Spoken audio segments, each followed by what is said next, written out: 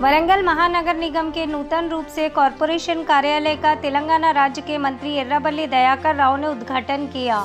इस कार्यक्रम में सांसद दयाकर, बंडा प्रकाश, तेलंगाना मुख्य संचेतक दास्यम विनय भास्कर वरंगल ईस्ट विधायक नैनीपुनी नरेंद्र, परकाल विधायक चलला धर्मारेड्डी, घनपुर विधायक डॉक्टर टी राजయ్య वर्धनापेट विधायक Aroori Ramesh MLC Basavaraj Saraiah, collector, commissioner अधिकारियों प्रजा प्रतिनिधियों कॉरपोरेशन सदस्य, अन्य मुख्य नेताओं ने भाग लिया। इस मौके पर विधायक नैनीपुरी नरेंद्र ने कहा, मुख्यमंत्री केसीआर, आईटी मंत्री केटीआर ने हैदराबाद के बाद बड़ा शहर माने जाने वाला वरंगल के विकास पर विशेष ध्यान दे रहे हैं।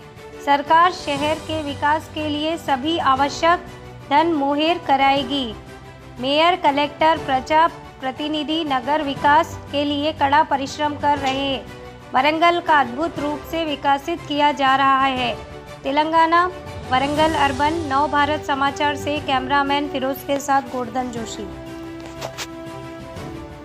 దాన్ని పూర్తి చేయలేకపోయింది దాన్ని పూర్తి స్థాయిలో కంప్లీట్ చేయడం ఈరోజు ప్రారంభం చేయడం కూడా జరిగింది దాదాపు ఎనిమిది కోట్ల రూపాయలు ఖర్చు పెట్టి దీన్ని సర్వాంగ సుందరంగా తీర్చిదిద్దడం. అంతేకాక నిన్ననే కౌన్సిల్ సమావేశంలో గతంలో కోటి ముప్పై లక్షల రూపాయలు పైన కౌన్సిల్ హాల్ గురించి శాంక్షన్ చేసినా కూడా ఆ పనులు జరగలేదు. దాన్ని లేటెస్ట్ అంతర్జాతీయ స్థాయిలో ఫ్యాబ్రికేటెడ్ సిస్టంలో council hall one and half మంత్లో చేస్తామని కాంట్రాక్టర్స్ చెప్తా ఉన్నారు. దాన్ని చేస్తాను నిన్నే కౌన్సిల్ ఏకగ్రీవంగా ఆమోదించడం జరిగింది. ఎన్నడూ కూడా కార్పొరేషన్కు రాష్ట్ర ప్రభుత్వం నుంచి గతంలో ఎప్పుడు డబ్బులు ఇవ్వలేదు. కేంద్ర నిధులు కార్పొరేషన్ ఆదాయంతో నడిపించుకోవాలి. ఫస్ట్ టైం మన కేసీఆర్ గారు వచ్చిన తర్వాత గ్రామ పంచాయతీలకు కానీ కార్పొరేషన్ కానీ నిధులు ఇచ్చిన మహానీయుడు కేసీఆర్ గారు అనేది గుర్తుపెట్టుకోవాలి.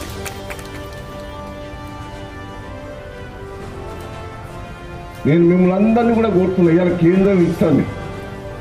ఇంతకుముందు నేను కమిషనర్ గారును పెద్దలు బండప్రకాష్ గారు తీసినా. ప్రతి డివిజన్ల కోటి నుంచి రెండు కోట్లు అత్యవసరంగా మీకు అవసరం ఉన్నాయి ప్రపోజల్స్ తయారు చేయడం కూడా మీకు ఆల్రెడీ కమిషనర్ గారు కలెక్టర్ గారికి ఆదేశాలు ఇచ్చా మీ ఎమ్మెల్యే గారికి ఇవ్వండి ప్రతి డివిజన్లో మా వరదలలో నష్టమే రేపు మండే రోజు కేటీఆర్ గారి దగ్గర మీటింగ్ ఉన్నది కాబట్టి అదనంగా నిధులు తీసుకొచ్చాను మేము అందరం కూడా రిక్వెస్ట్ చేసి మీకు తీసుకొచ్చే ఏర్పాటు చేస్తాం.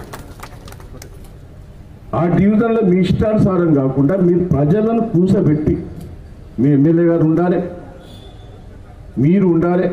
ఆ ప్రజలతోటి మీరు అవసరాలను ఏదైతే మనకు వరద నష్టం డ్రైనేజ్ ఫస్ట్ ప్రియారిటీ డ్రైనేజ్ చేయాలి. CC road. ఈ ఈ మీరు ప్రపోజల్ తయారు చేసి మాకు ఇవ్వవలసిన మొన్న వినయ్ భాస్కర్ గారు కొన్ని పనులు చెప్పింది ఇమీడియట్లీ శాంక్షన్లు కూడా ఇప్పించాం. నరేందర్ నన్ను ఎంబడిబడి ఆయన కొన్ని ఆయన కూడా ఎంబడిపడి దాదాపు మ్యాక్సిమం దొబ్బిండు మొన్న.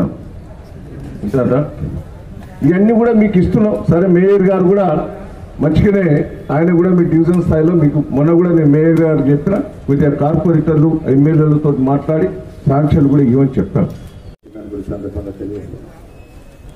ఈరోజు హైదరాబాద్ తర్వాత వరంగల్ అతిపెద్ద నగరంగా తీర్చిదిద్దాలని ఒక బలమైనటువంటి ఆకాంక్షతోని ఒక ప్రణాళిక బద్దంగా తెలంగాణ రాష్ట్ర తొలి ముఖ్యమంత్రి కేసీఆర్ గారు తన వంద రోజుల పాలన ముగించుకొని ఈ నగరానికి వచ్చి ఒక రోజు కాదు రెండు రోజులు కాదు మూడు రోజులు మకాం వేసి ఈ నగరంలో ఉన్నటువంటి అనేక ప్రాంతాలను కూడా కలదిరిగి ఈ నగరానికి కావలసినటువంటి మౌలిక సదుపాయాలతో పాటు ఈ నగరాన్ని రాష్ట్రంలో గుర్తించే విధంగా హైదరాబాద్ తర్వాత ఒక ప్రణాళికబద్ధంగా తీర్చిదిద్దాలి. ఇక్కడ కార్పొరేటర్స్ కావాల్సినటువంటి సమావేశ హాల్ కానీ వారికి కావాల్సినటువంటి వసతులు కానీ ఇక్కడ సిబ్బందికి కావాల్సినటువంటి వసతులు కానీ ఇవన్నీ కూడా తను ప్రత్యక్షంగా చూసి బడ్జెట్ నుంచి నేరుగా మూడు వందల కోట్ల సంవత్సరానికి వెచ్చించి ఈరోజు చూసినట్లయితే పన్నెండు వందల కోట్లతోని ఈరోజు మన మున్సిపల్ కార్పొరేషన్ నగరానికి కావాల్సినటువంటి అన్ని మౌలిక సదుపాయాలు